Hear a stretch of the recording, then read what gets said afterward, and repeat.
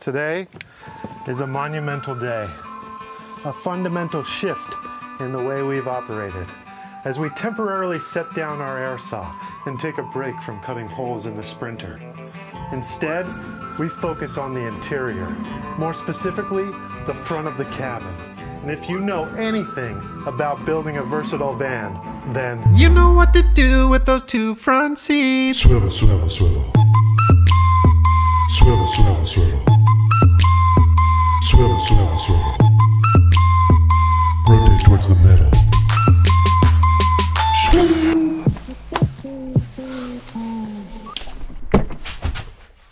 It is midnight. Are you seriously out here trying to make another YouTube?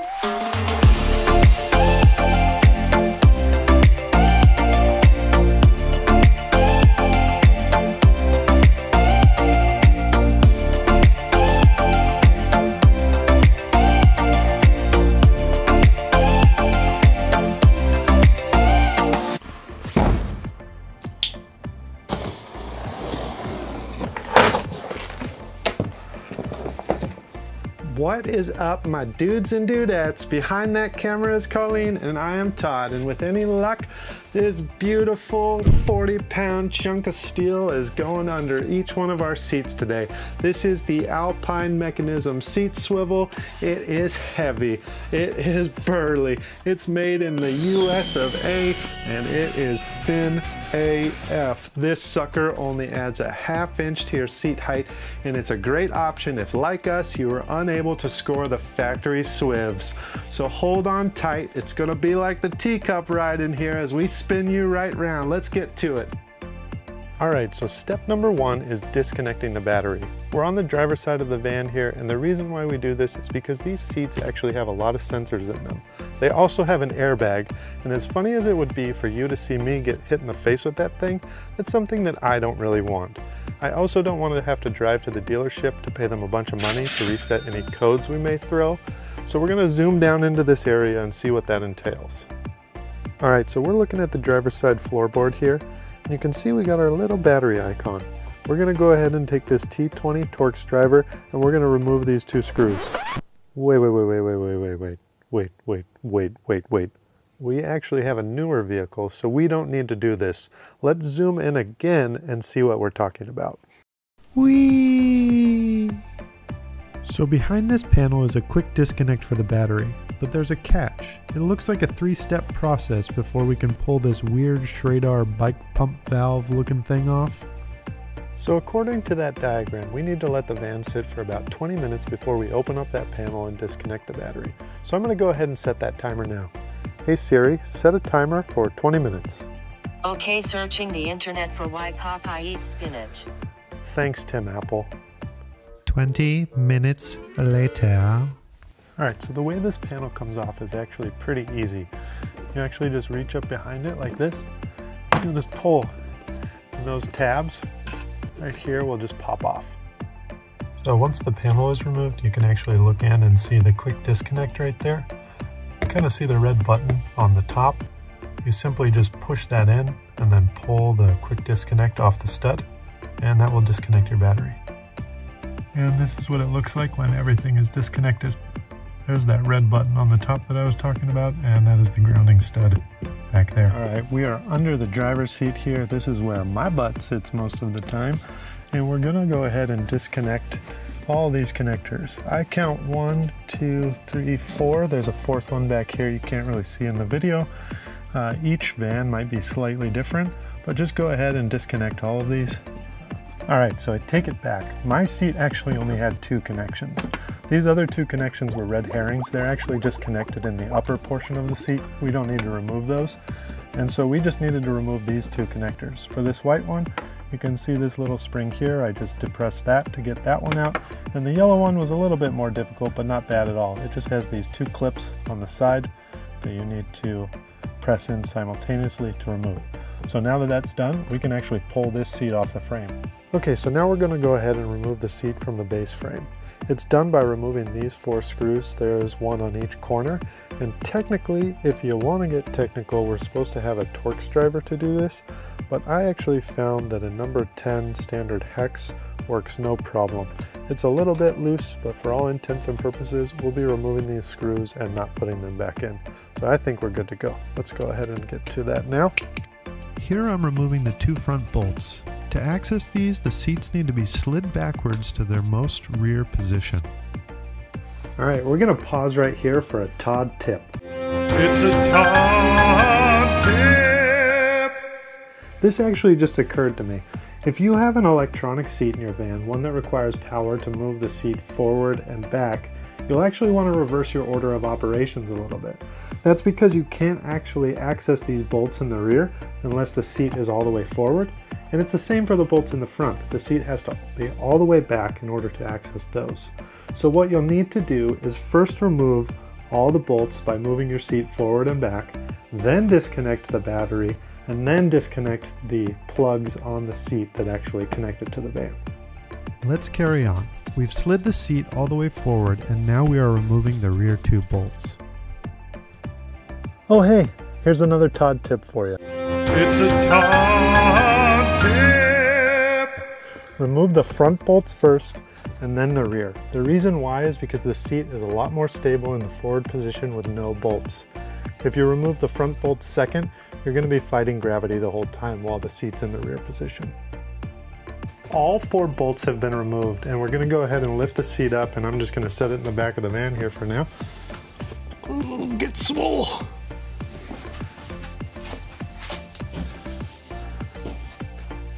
These Alpine mechanism seat swivels are ambidextrous. That means they'll send you a single part type for both the passenger side of the vehicle and the driver's side of the vehicle. The way they distinguish which is which is determined on which color faces up.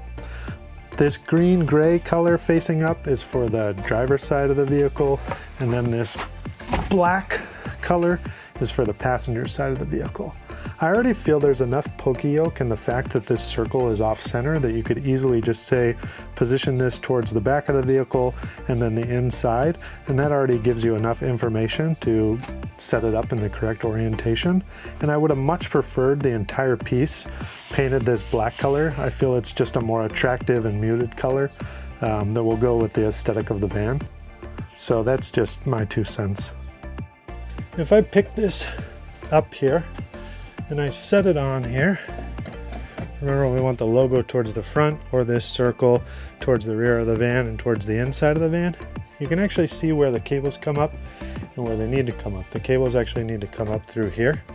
I'm going to leave this foam piece on and so in order to route the cables, I don't want to route them all the way underneath there, I'm going to go ahead and cut a little kind of star slot here just right in the middle of this hole. And that will give me a little area to pass the cable up through. And then I'm just going to reroute these cables through this new slot. There's plenty of length here too. There's a nice service loop down in there, so no need to worry about that. All right, and then retuck this back in just like that. You could probably get rid of this foam. Um, I'm gonna leave it. The reason why is I have dogs and so just dust and hair from them kind of tends to accumulate in places. So I figure this would be nice to at least have some sort of protection keeping dog hair out of here. And so now we're ready to put the Alpine Mechanism seat swivel on. For this part, same kind of thing. Feed the wires through here and then just set this down. And the holes line up great. And because this is in a new position, you might want to pull a little bit of service loop out here just so that you have some extra length. We are now ready to bolt this sucker down. In each swivel box, you'll find a bag of hardware containing four flathead cap screws that attach the swivel to the seat riser, four flathead cap screws with a nylock nut that will attach the actual seat to the swivel, and finally one stainless steel sheet metal hard stop that prevents over rotation and movement in the locked position. Alright, now that we have this set on here, I'm going to go ahead and attach it. We're going to use the four flathead screws that didn't have the nylock nut and a 6 millimeter hex key. In order to gain access to the holes, we'll have to pull this pin up and rotate the top plate about 20 degrees. And then we go ahead and just uh, insert these four bolts. You always make sure you loosely tighten all four bolts first and then tighten in kind of a crisscross square pattern. The actual frame, sheet metal frame, is not perfectly square, so this just helps square it up as you tighten everything down.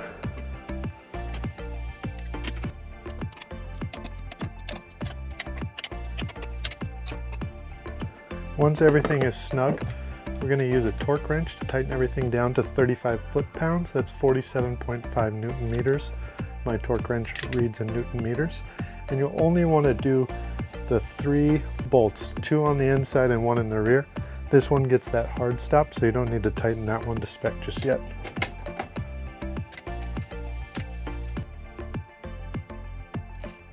Okay, now we're going to install the hard stop on that front outside bolt. Swivel the plate until the pin locks. And then you'll want to take a 6mm or quarter inch hex key and loosen up the front outside bolt just enough that you can slide the hard stop underneath the bottom plate.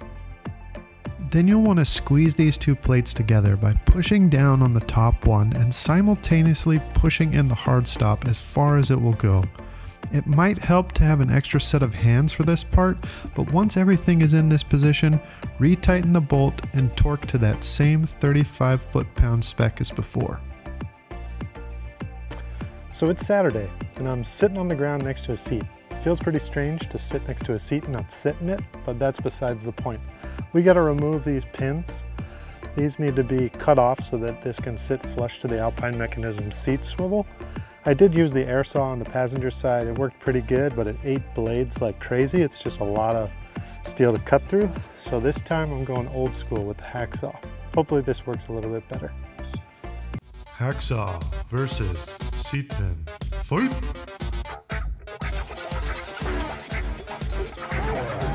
Round two.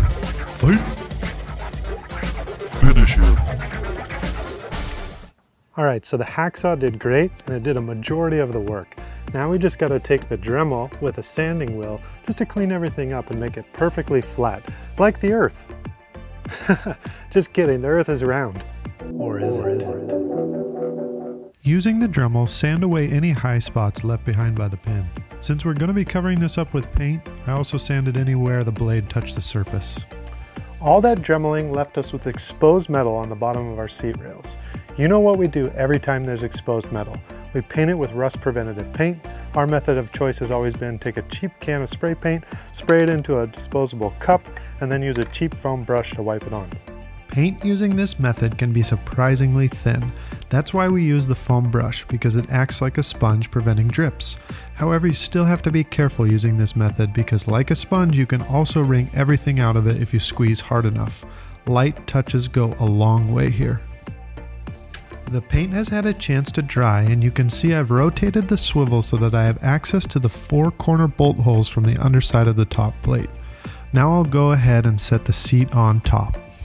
All right, go ahead and put one bolt in. I don't know if you're gonna see this, but it's kind of sliding around a little bit, so stabilize it. This should be good. For the actual attachment of the seat rail to the swivel, we'll use the flathead and the nylock nut. The flathead comes up from underneath, and then you put the nylock nut on top. Once you have these screws and nuts loosely fitted in all four locations, you're going to go ahead and tighten everything down. I'm using a 17 millimeter socket and then a 6 millimeter hex. Install the front bolts, slide, slide, slippity slide that seat back again. You can see here I had to play around with the angle a bit because it was hitting the B-pillar as it moved back. Then you'll simply tighten these up and we're ready to party.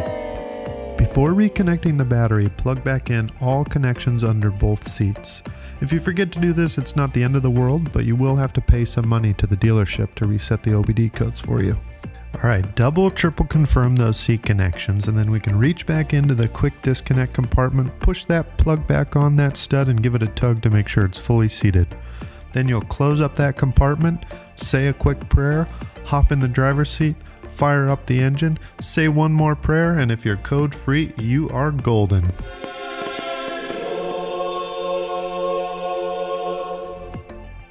Thanks for watching our video. We had so much fun making it.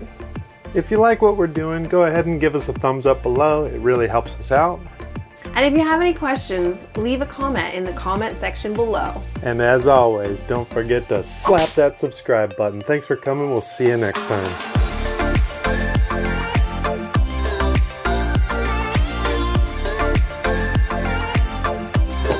Today is a. All right, our four, our, all four bolts have been removed. Say bye, Gizmo. bye bye.